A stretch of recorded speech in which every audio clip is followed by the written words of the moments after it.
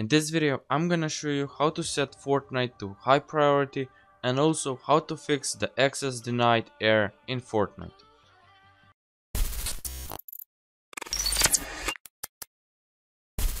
And let's start.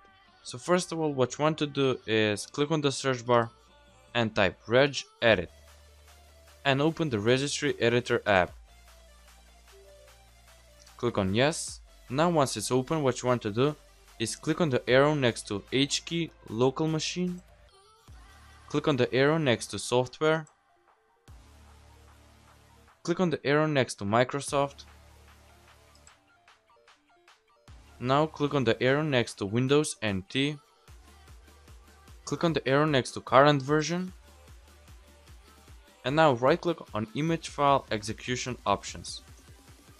Click on new and click on key. Now rename the key and set its name to Fortnite client win64 shipping.exe and click on enter. Now right click on the Fortnite client win64 shipping.exe folder that you just created. Click on new, click on key again and name it PERF options. And click on enter again. Now right click on the new folder that you just created, click on new and click on dword 32-bit value.